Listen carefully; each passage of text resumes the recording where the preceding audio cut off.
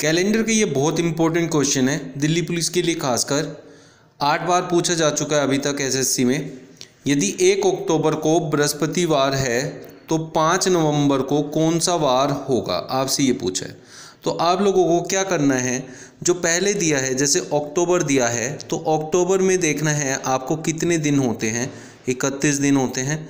उसमें से जितनी तारीख अक्टूबर की दी है, उसको माइनस कर देंगे तो आएगा जो उसमें जिस महीने की बात कर रहा है, जैसे नवंबर की बात कर रहा है, अगले महीने की उसके जितने भी दिन दे रखे हैं, उनको जोड़ दो।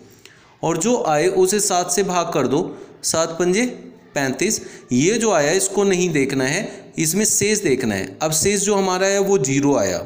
शेष ज़ीरो आया तो ज़ीरो आने का मतलब है कि जो दिन इस तारीख को है, एक अक्टूबर को, वो ही पाँच नवंबर को होगा।